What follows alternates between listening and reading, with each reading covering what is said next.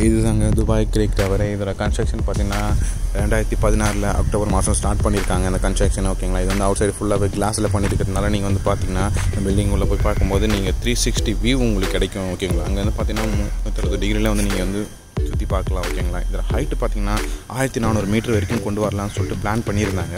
Construction போயிட்டு இருக்கும்போது இடையில கோவிட் ப்ராப்ளம் வந்ததுனால கன்ஸ்ட்ரக்ஷனை ஹோல்ட் பண்ணி வச்சுட்டாங்க. இப்போ அந்த ஹோலில் தான் இருக்குது ஓகேங்களா ஸோ நீங்கள் யோசிக்கலாம். என்னடா ஆல்ரெடி தான் நம்ம துபாயில் தான் வேர்ல்டு பிக்கஸ்ட் பில்டிங் புஜி கலிஃபான்னு ஒன்று இருக்குது அப்புறம் எதுக்காக அதை விட உயரமாக இதை நீங்கள் கொண்டு வரீங்கன்னு சொல்லிட்டு நீங்கள் யோசிக்கலாம். அதில் தாங்க ஒரு மிகப்பெரிய ட்விஸ்ட்டே இருக்குது என்னன்னு கேட்குறீங்களா என்னடா துபாய் பெரிய பில்டிங் புஜி கலிஃபா இருந்தாலும் சவுதி அரேபியாவில் வந்து ஒரு புதுசாக ஒரு பில்டிங் ஒன்று ரெடி பண்ணுறாங்க கன்ஸ்ட்ரக்ஷன் போயிட்டுருக்கு அது என்ன பார்த்தீங்கன்னா சடாயுன்ற பில்டிங் தான். இதோட உயரம் பார்த்தீங்கன்னா ஒன் கிலோமீட்டர் ஹைட் இருக்குது இது பார்த்தீங்கன்னா புஜி கலிஃபா விட பெரிய பில்டிங்கு ஸோ என்னடா இப்படியே விட்டுட்டுனா நம்ம நம்மளை விட பெரிய பில்டிங் அவனும் கட்டினானா துபாயோட மகிமை என்னடா ஆகிறதுன்னு சொல்லிட்டு விட்டுறக்கூடாத கைப்புள்ளான்னு சொல்லிட்டு உடனே ஜடாய் பில்டிங்கோட ஹைட் ஹைட்டான பில்டிங் தான் துபாய்.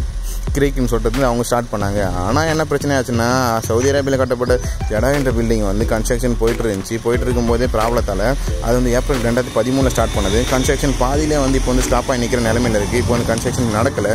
அப்படியே பாதியிலே நிற்கிது ஸோ துபாய் கிரேக்கும் ஜடாய் பில்டிங் ரெண்டுமே கன்ஸ்ட்ரக்ஷன் ஸ்டாப் ஆச்சு. ஸோ கூடிய சீக்கிரமாக அந்த ரெண்டு பில்டிங் ஓப்பன் பண்ணணும். அதை நம்ம என்ஜாய் பண்ணணும்னு சொல்லிட்டு நான் கடவுளை வேண்டிக்கிறேன். தேங்க்ஸ் ஃபார் வாட்சிங்